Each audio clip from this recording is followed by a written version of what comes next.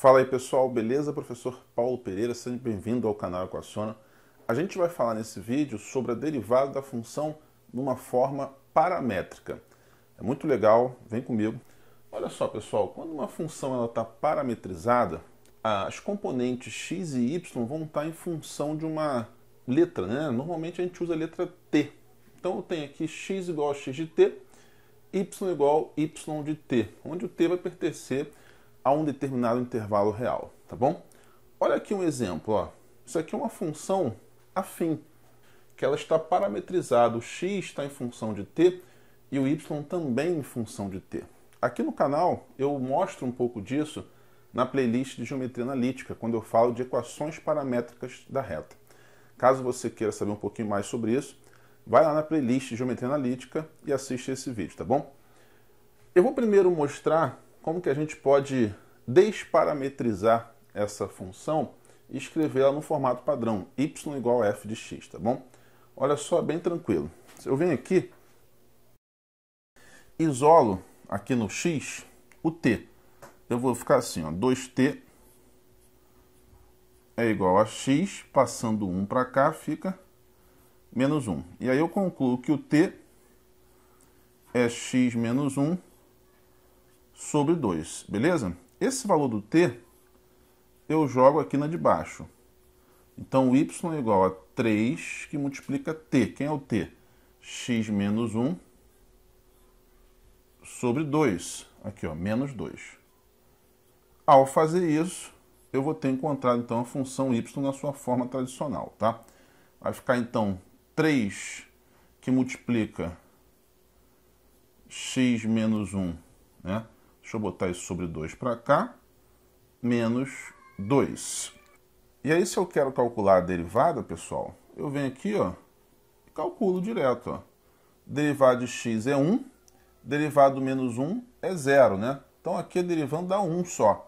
Só que tenho 3 sobre 2 multiplicando, então fica 3 sobre 2. E a derivada de menos 2 é 0. Beleza, pessoal? Esse seria o método tradicional eu escrevo a função que está parametrizada na sua forma explícita, normal, tá certo? y igual a função de x e calculo a derivada. A gente sabe fazer isso. Eu achei aqui 3 sobre 2. Eu vou até anotar esse resultado, tá? Que a gente encontrou aqui, que a derivada deu 3 sobre 2. Para te mostrar que a gente não precisa fazer esse processo de desparametrização também porque fica até difícil de falar. Tranquilo? Vou apagar. Isso aqui era só para te mostrar o método tradicional.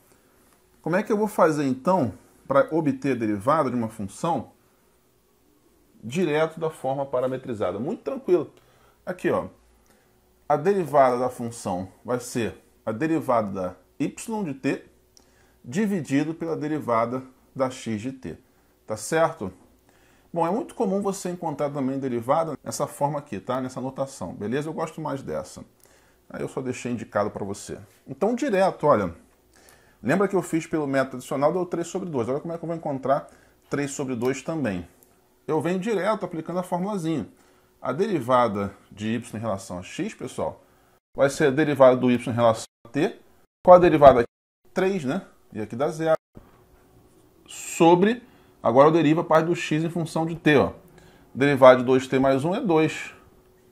Olha só, chega a ficar ridículo, né? De tão fácil. Aqui, ó. No olho. Lembra aquele processo todo que eu fiz? Não é necessário. É só aplicar direto isso aqui. Isso é muito legal, pessoal. Beleza? Ficou claro, então, a formulazinha que a gente tem? Vamos fazer aqui mais alguns exemplos. Olha só. Teria uma outra função, ó, ela está parametrizada tá certo? Mas eu não preciso saber nem quem é essa função. Eu venho direto, a derivada vai ser a derivada aqui do y, 2 vezes 9, 18. É, o expoente 2 diminui 1, vai para o expoente 1. Derivada de menos 6t é menos 6. Essa derivada eu estou fazendo rápido porque isso já foi visto aqui no curso, tá? Sobre a derivada do x, que é 3. Então, ó, a derivada aqui, eu posso fazer 18 por 3 é 6, 6 por 3 é 2. 6t menos 2. Pronto, já achei a derivada. Mas, Paulo, eu estou observando que a derivada está em função do t. Eu queria achar essa derivada em função de x. Aí eu vou ter que fazer aquele processo. Não é necessário. Aqui, ó.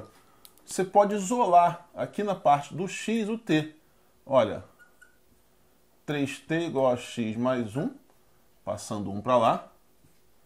t é x mais 1 sobre 3. E aí você pode substituir aqui, caso você queira expressar em função do x. Eu vou ficar, portanto, aqui com y igual, são linha, né? 6 vezes o t, mas quem é o t? x mais 1 sobre 3, menos 2.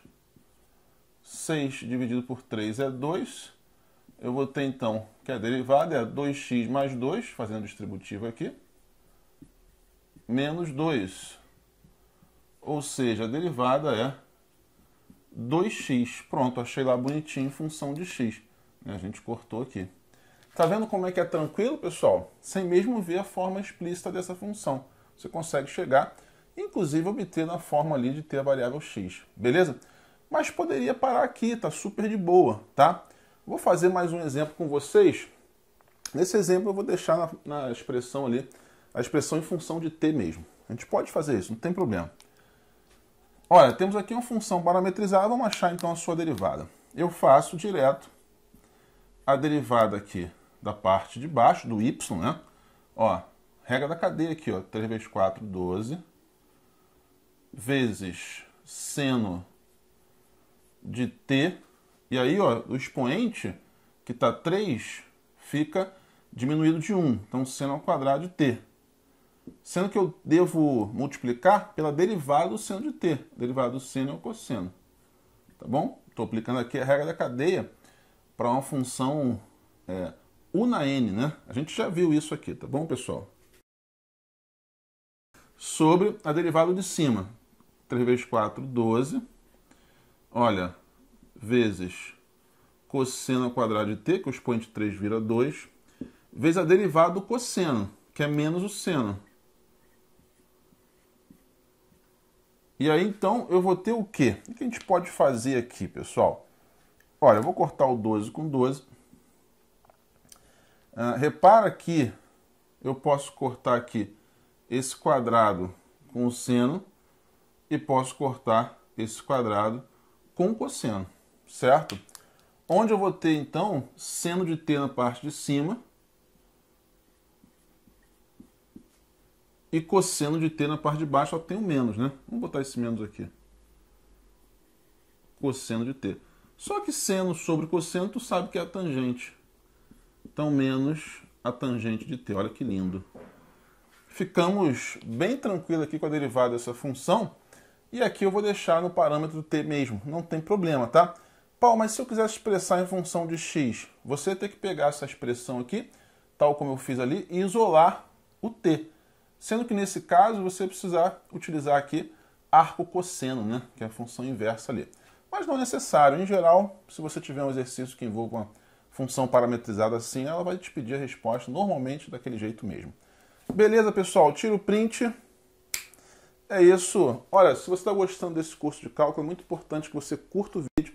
Caso não seja inscrito, inscreva-se, ajuda muito, você não sabe o quanto. Muito obrigado para todos vocês que fazem isso, tá bom? que são inscritos e que curtem aqui os vídeos. Valeu, pessoal. Tchau, tchau.